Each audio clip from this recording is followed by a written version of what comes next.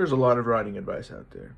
If you want to be a great writer, then you got to do great things. You got to take great advice. Who better than, than Ernest Hemingway? He was a great American author, one of the best.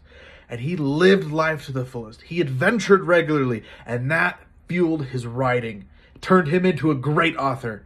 Get out and explore.